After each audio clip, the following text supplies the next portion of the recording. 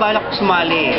Dapat yung 2 pero hindi natuloy. So ito, katuparan na ng kanilang mga pangarap na makasali sa Metro Manila Film Fest. Masutran sila.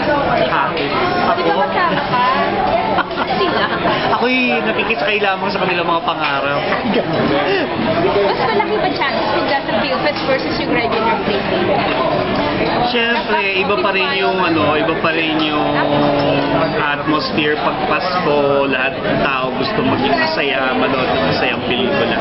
So iba pa rin talaga siyempre yung hatak ng MMFF kaysa sa regular playing. Tsaka siyempre pag Pasko, di ba, puro local films tayo, wala tayong kalabang Solo. mga Avengers at mga Harry Potter na yan. Tayo-tayo muna, di ba? First time niyo po sa MMFF. Ah, sumali na ako sa Shake, Rattle and Roll three years ago. Pero tatlo kayo doon. Ah, tatlo kayo. Ito yung first solo.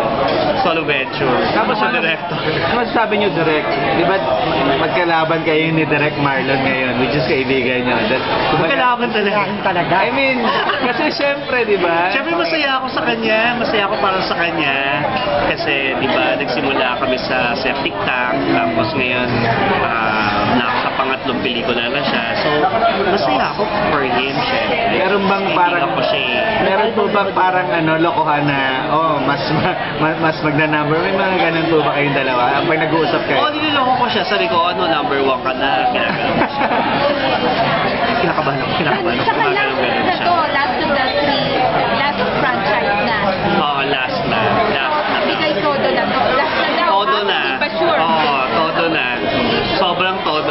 terms of production values, in terms of uh, the spectacle that you will see later, binigay na namin lahat. May fresh. Ba't naisip ko yung gawa ng Hindi naisip gumawa ng ng prequel. Ah, para maiba naman kasi parang yung sa pangatlo parang medyo natapos na eh, di ba? Parang ah, kinasal na sila, ay gano'n. So gusto naman namin ipakita yung kwento bago bago sila Kimi naging COO, bago si Dora nagkaganon.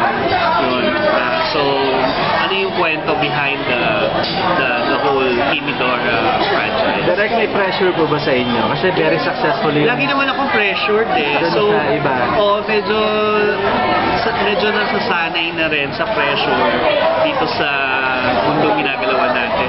So, gusto namin sana, syempre kumita, di ba? Tsaka gusto sana namin marami manood. So, ang pangarap namin, top 3. So, sana matupad yun ang Christmas wish namin. Hindi. Ah, gusto ko manalo si Uge. Siyempre, ang hirap ng ginawa niya, mahirap yung, mahirap talaga mag-portray ng kambal.